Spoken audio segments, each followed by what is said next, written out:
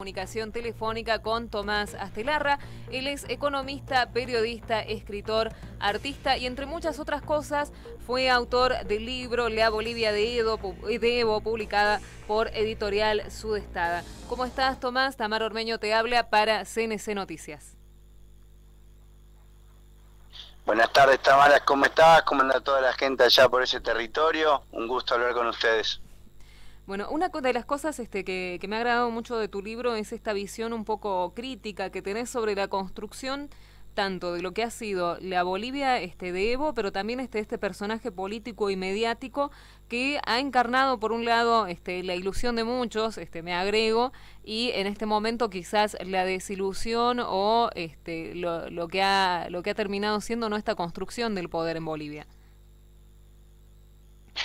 Sí, y un poco también ahora en las entrevistas que me están haciendo y en este momento tan álgido donde no vale más que denunciar el golpe de Estado y la injerencia de los Estados Unidos y las viejas prácticas políticas de lo más rancio de la política boliviana, también está bueno hacer un poco de historicidad, ¿no? De, de justamente esta decepción que vos decís, que viene de hace muchos años en un montón de movimientos sociales, en en intelectuales de izquierda, ecologistas, clases medias. Eh, hay un punto de quiebre que yo cuento muy bien en mi libro, que es justamente una situación muy parecida a la que se vive hoy en Bolivia, que es la cuasi guerra civil o guerra civil, si querés llamarlo, 27, la guerra que termina con la masacre de Pando y la Poldo Suárez, la nación de Pando, y en esa situación el gobierno del resulta victorioso ¿no? en, esta contienda, pero bueno, también en esa situación, en esa lucha, en esa disputa, en ese tinku, eh, se dan algunas concesiones ¿no? con eh, las logias empresarias de Santa Cruz que tienen que ver con la reforma de la reforma de la Constitución, de la Asamblea Constituyente, eh, que tiene que ver con el palate en el proceso de la reforma de, de tierras, de la ley de tierras, y que tiene también que con el comienzo de una alianza entre algunos sectores quechua y mara, más vinculados al Chapare, con estos sectores agroindustriales de Santa Cruz para la siembra de soja transgénica y también el avance de la minería en conjunto con los cooperativistas mineros.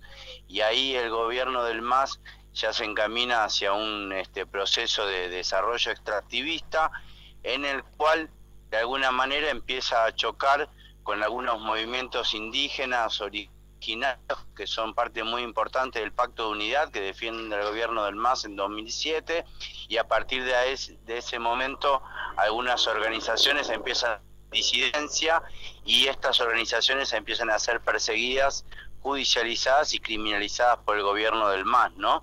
Desde ese entonces, pasando por el conflicto del TIPNIS en 2011, empieza a haber una decepción desde los movimientos sociales y también desde las clases medias en Bolivia que explican mucho de por qué el gobierno del MAS hoy no fue defendido no frente a estos ataques de la derecha del imperio no y de alguna manera terminamos en esta situación que para mucha a nivel internacional y de América Latina es sorpresa y para otros que veníamos denunciando este viraje del gobierno del MAS es una consecuencia de eh, de alguna manera empezar a relacionarse con el poder capitalista y extractivista que más allá de la condición de izquierda o derecha de los gobiernos está en toda América Latina.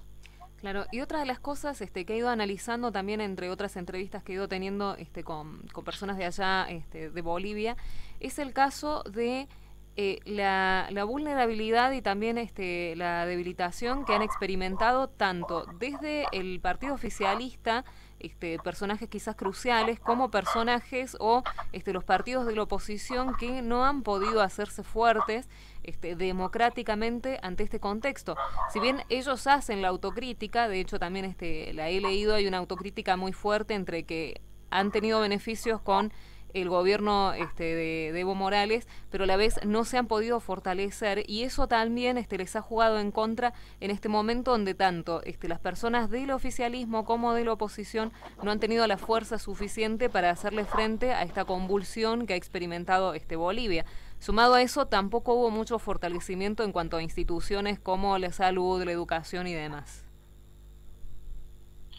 Sí, alguna manera, hablando con el Jorge Viaña, que es un sociólogo amigo ya de Bolivia, eh, hablamos que también para caracterizar este momento es muy importante eh, lo social en Bolivia, ¿no? Donde es un país donde, por ejemplo, contrariamente a lo que pasa en Chile, eh, el Estado siempre ha sido muy pequeño, ¿no? En, en, en relación a los movimientos sociales y al quehacer popular, ¿no? Eh, uno ve los gobiernos neoliberales del Goni Sánchez de Lozada, pero lo cierto es que la economía boliviana e incluso la política organizada a través de los AILUS en los diferentes lugares del altiplano boliviano iba por otro lado, ¿no?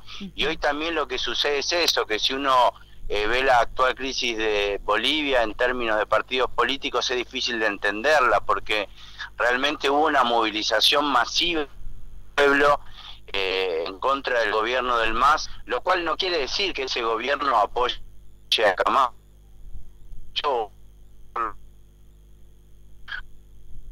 Todo lo más grande de la política eh, que está volviendo al país, ¿no? De alguna manera el imperio y Estados Unidos se suman a estas movilizaciones que, que realmente existieron, que no hay que negarlas, que tienen del también de no Hola, hola, estamos perdiendo la comunicación. Pero eso no quiere que no, eh, lo que hecha legitimizado. Oh, Tomás, este, te pido disculpas, este, hubo un, ah. un entrecorte. Hola, hola, hubo un entrecorte este, entre lo que nos ibas explicando acerca de lo que ha sucedido, bueno, con los partidos. ¿Me escuchás ahí? Ahí sí, mejor. ¿Me escuchás? Sí, sí, sí, sí. Se entrecorta un poco este, la señal. Hola, hola, hola. Sí, ahí me escuchando. Ahí sí, perfecto. Bueno, estabas explicando un poco acerca de... bueno, vamos a ver este si podemos eh, retomar la comunicación con Tomás. 19 horas 59 minutos en todo el territorio nacional. Estábamos hablando con Tomás Astelarra, él es autor del libro La Bolivia de Evo, publicado por Editorial Sudestada. Este libro fue publicado en hace dos años aproximadamente, no, perdón, en septiembre del 2014, así que es una visión un poco de cómo ha sido la construcción tanto y la llegada al poder este, de Evo. Hola Tomás, ¿estás? Hola, hola, hola. Sí, ¿me escuchas ahí? Ahí sí, se te escucha perfecto. Este, recién mientras conversábamos se entrecortaba un poco la comunicación. Sí, les contaba eso, que no, no necesariamente la movilización popular en Bolivia tiene que ver con los partidos políticos y lo que está sucediendo hoy, que lamentablemente es una cuasi guerra civil, eh, no tiene que ver con los partidos específicamente, no quiere decir que la gente que se levantó contra el gobierno del Evo eh, tengan que ver con el golpe de Estado, con los militares o con Camacho y los partidos de derecha, te decía, con los más rancios de la política boliviana que está volviendo al país, ¿no? Eh, no necesariamente es tan lineal que esto termine en un gobierno de, de Camacho o de Mesa o que aparezca un candidato del MAS que, pueda solucionar eh, este divorcio de alguna manera entre el MAS y el gobierno de Evo del pueblo boliviano. También este, en tu libro haces un análisis y un paralelismo de lo que ha sido el sincretismo en estas culturas y en este país específicamente, que no ha sido solamente un sincretismo este, religioso, sino que también se ha dado en eh, el área política y este, en el área cultural y en cómo se maneja quizás culturalmente la política. Estas comunidades tienen otra visión hacia cómo dar esa organización social. Sí, precisamente eso es lo que también tiene que ver con la falta de, apoyo al golpe, ¿no? Porque eh, la organización comunitaria Aymara, que tiene que ver con el AILU, es una organización comunitaria que va por fuera del Estado y que era muy fuerte, ¿no? Y permitió lo que fue la guerra del agua, la guerra del gas en las épocas insurreccionales de principio de siglo, y de alguna manera el aparecimiento de un Estado indígena, el aparecimiento del MAS, empezó a competir ¿no? en los municipios, por ejemplo, del Altiplano eh, o de Potosí, empezó a competir esta estructura originaria comunitaria del AILU con el poder del gobierno y ahí es donde eh, el MAS empieza a, competir con estas estructuras y genera una estructura vertical, ¿no? Como son todas las estructuras del Estado, con una estructura de defensa que tiene que ver con el ejército militar o la policía, de alguna manera atenta contra la organización popular e incluso contra las milicias, las autodefensas indígenas, los ponchos rojos, que son los que realmente hubieran salvado al gobierno y los que salvaron en 2007 frente a una situación como esta, ¿no? Entonces fue muy fácil para la derecha descabezar el gobierno del MAS y que hubiera una reacción. Ahora de a poco, lentamente, esa reacción eh, se está empezando a generar, pero bueno, con consecuencias muy nefastas en términos de vida, porque bueno, no, no hay un proceso eh, eh, contenga esta, este tinku, ¿no? Le dicen los bolivianos, esta, este, esta pelea que se está dando y este momento de violencia.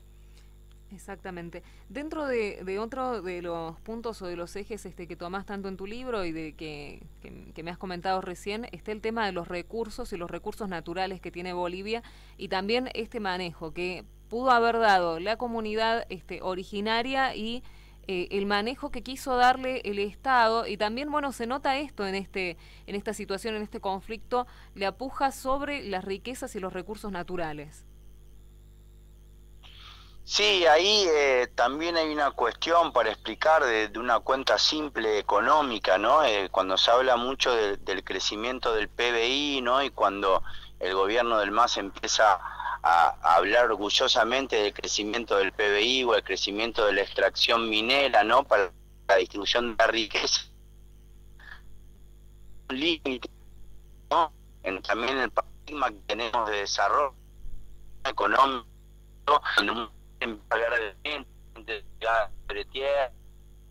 tiene una crisis ecológica y civilizatoria, eh, no ven con buenos económicos. Sí está bien el crecimiento económico que se dio en Bolivia porque son países y en algún momento esa distribución de la riqueza, el tema hasta dónde llega esa distribución de la riqueza y el mismo pueblo boliviano, si lo que quería era tener mejores condiciones de producción, de vida, de alimentación, de vivir en ellos, o por ejemplo la construcción de estado de, estadio de fútbol en todo Bolivia, o la exportación de soja para que vayan a estudiar a Harvard y un montón de cuestiones que fueron muy contradictorias con el discurso que se dio a nivel internacional sobre la tierra y sobre todo sobre el empoderamiento del indígena, ¿no? También en esta colonización de antes de Evo Morales no tenían educación o no tenían salud, cuando las estructuras de educación y salud comunitaria, de gobierno comunitario del AILU, estaban muy fuertes. Entonces, en algún momento, el gobierno de, de Evo Morales y del MAS, en vez de empoderar estas estructuras que ya existían originarias, empieza a desarrollar este crecimiento económico para dar este, de alguna manera comodidades capitalistas, ¿no? Y en este sentido, donde también empieza a entrar en contradicción con muchos pueblos originarios que están en estos lugares donde el extractivismo empieza a desplazar pueblos, empieza a quemar bosques, empieza a avanzar sobre la madre tierra, ¿no? Y en esto quiero recordar, mi amigo Manuel Rosenthal en Colombia me contó que cuando asumió el Evo Morales, la dirigente otavaleña, indígena, Blanca Chacoso, le dijo a Evo Morales, mira, tú entras al Estado, que es una estructura que se ha hecho para alimentar a las ratas. Tú puedes destruir y dejar de alimentar a las ratas, pero vas a generar en principio un caos ante el cual mucha de tu sociedad vas a creer que sos un mal gobernante. Mm. O puedes alimentar las ratas y tu pueblo va a decir que eres un buen gobernante, pero vas a haber traicionado la tradición de tu pueblo indígena. Y a mí me parece que esa metáfora es muy fuerte para explicar lo que pasó con el proceso del MAS, que eh, este gobierno indígena, o podemos llamar mestizo, que es una diferenciación muy importante ahí en Bolivia, empezó a adoptar eh, culturas caras, culturas gringas, culturas de comodidad, de consumo, eh, todas esas culturas extractivistas, de consumo capitalista, con las que renegamos, muchos gringos que empezamos a, buscar otra forma de producción y de consumo, y muchos pueblos indígenas, ¿no? Como puede ser en el Cauca colombiano o el movimiento zapatista, o un montón de, de organizaciones sociales que están buscando nuevas formas de hacer economía y de hacer política y de hacer sociedad que de alguna manera se contradicen con el Estado y como dice Raúl Sibeki, en la realidad hoy de América Latina es muy difícil, sea de derecha o sea de izquierda, que exista un presidente, que sea un gobierno, que exista un gobierno que no tenga que ver con el extractivismo, ¿no? Entonces, más allá de las relaciones de fuerza que tengan los movimientos sociales, los movimientos indígenas, originarios, o esta cuestión de la ruralidad gringa en la cual me inscribo, eh, lo importante es saber que, que, las cosas se construyen desde lo comunitario, desde las pequeñas cosas, como dice Silvia Rivera Cusicanqui, de las arcas de Noé, como dice Raúl Sibeki.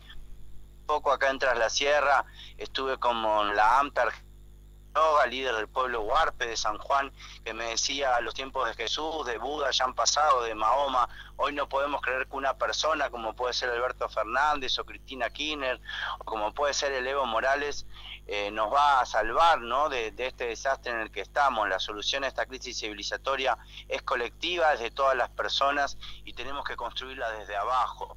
Eh, sí presionando los estados, pero no creo que la estructura del Estado, la estructura del capitalismo, de la empresa es la apropiada para superar esta gran crisis de muerte, esta cuarta guerra que dicen las compañías zapatistas, el cripto y sin este político que vive hoy América Latina.